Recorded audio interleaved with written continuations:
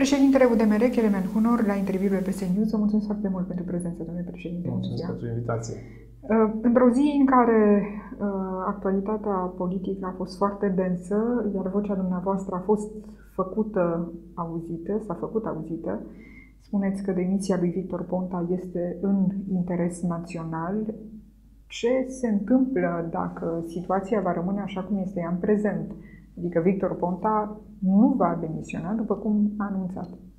Eu am spus că ar fi fost o posibilitate printre nu prea multe alte posibilități și uh, este o situație imposibilă în situația în care ne aflăm astăzi, în care se află guvernul, în care se află România. Fiindcă trebuie să vorbim despre această situație sincer. Uh, și dacă nu vorbim sincer, eu cred că facem o mare greșeală credibilitatea guvernului uh, va fi din ce în ce mai uh, mică. Uh, în relațiile internaționale, încet, încet va intra într-un vid. În relație cu finanțatorii externi, la fel, deja s-a văzut o fluctuație destul de mare.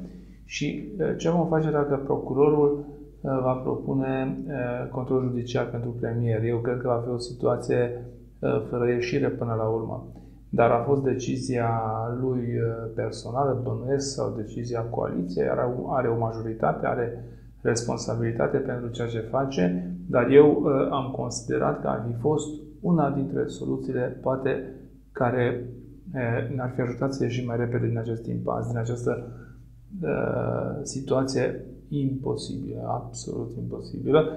Avem mai multe probleme.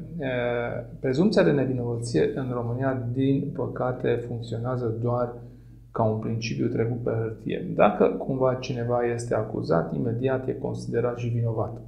Și nu este bine. Indiferent dacă vorbim de premier sau vorbim de o femeie care a stat șase luni nevinovat în arest. Deci, prima problemă. A doua problemă, dacă, și aici trebuie eu încerc să-l înțeleg și pe Victor Ponta. Dacă își dădea demisia, era considerat că a recunoscut vinovăția, așa percepe societatea. Și în plus, pentru orice om politic, o astfel de acuzație, mai ales în funcția de premier, de ministru, de membru al guvernului, înseamnă o povară în plus. Deci toate aceste elemente trebuie luate în calcul. Nimeni în afară de Victor Ponta nu putea și nu poate să ia o decizie.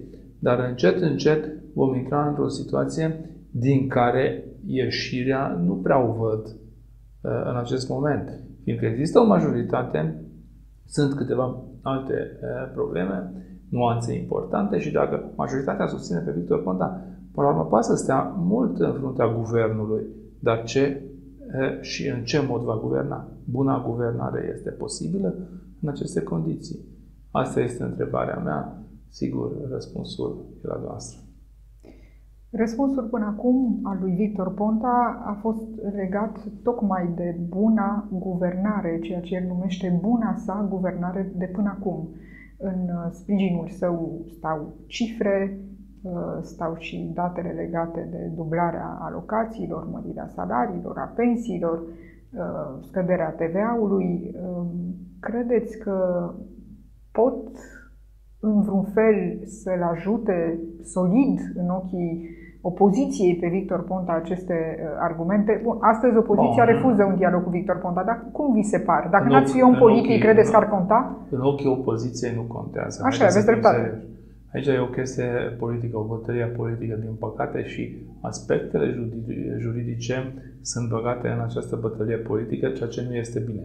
În ochii opoziției poți să faci orice, oricum nu e bine. Așa a fost și când Victor Ponta era în opoziție cu USL și era PDL și UDMR la guvernare, indiferent ce făceam noi și din ce situație a trebuit să ieșim cu țara, uh, nu era bine. Deci, problema nu este cum e văzut premierul sau guvernul în ochii opoziției. Opoziția are scopul de a dărâma guvernul, de a schimba guvernul, de a aduna puncte electorale peste tot în lume. Problema noastră este că nu reușim să tragem o linie foarte clară unde se termină bătălia politică, unde începe o bătălie juridică. Cineva îmi dădea un exemplu cu uh, uh, directorul uh, Fondului Monetar Internațional. Uh, doamna are un dosar penal în Franța și nimeni nu a cerut demisia din fruntea Fondului Monetar Internațional, fiindcă funcționează prezumția de nevinovăție și au spus până când nu există o decizie în instanță, e considerată nevinovată. Poate că normalitatea și din acest punct de vedere trebuie uh, judecată, nu numai din perspectiva uh, opoziției politice.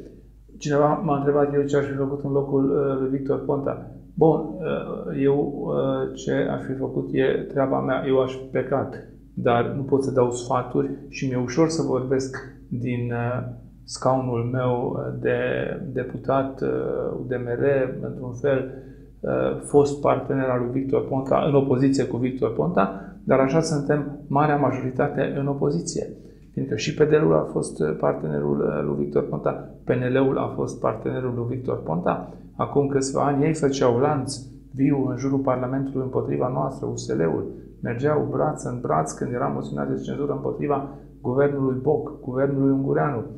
Și noi am fost parteneri cu Victor Ponta. Deci, din acest punct de vedere, sigur, uh, este de înțeles și această bătălie politică, uh, dar ar fi bine la un moment dat să reușim să știm care este linia unde mergi cu bătălia politică, unde începe zona juridică, unde nu discuți.